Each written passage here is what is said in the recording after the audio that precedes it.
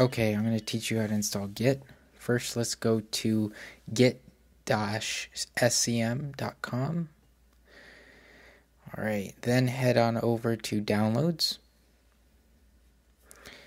Then click the older releases.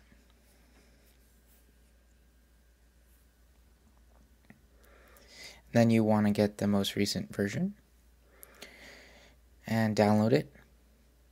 Should take a second or so. And then I'm just going to copy it so I don't have to type it in in the command line. So let's change directories into the downloads folder. And now let's untar it.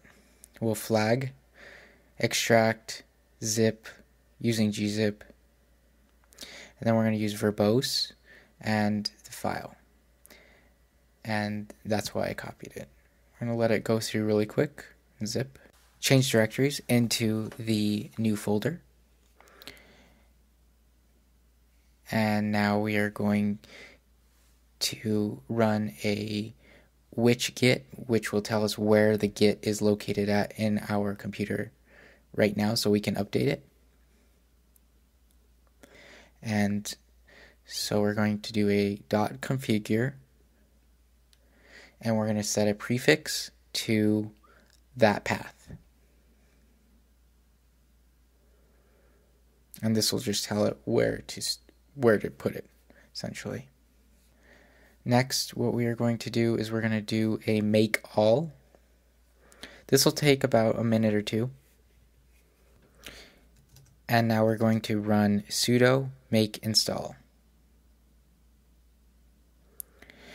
And then enter your password next. And then it'll run the install. It'll take another minute or so. And then switch out of the directory, go to the home directory. And now we're just going to check to make sure Git works.